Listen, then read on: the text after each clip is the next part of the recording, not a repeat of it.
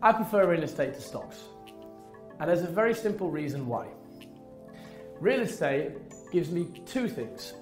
It gives me capital growth and it gives me income.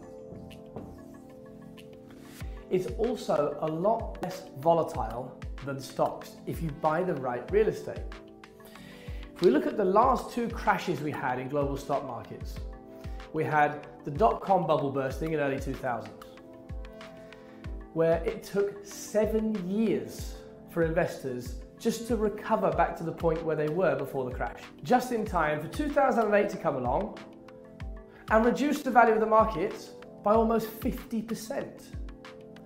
From that point, it took six years just to recover to break even point again. Of course, it always comes back. But what's the cost of that six or seven year wait to regain your capital?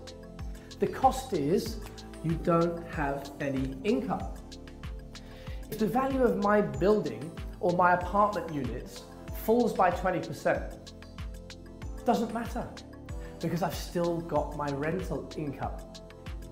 If I buy affordable housing in the UK, where there's a 2 million unit shortage, I'm always going to have high occupancy rates because affordable housing is not going to get affected like high-end property will in a global recession.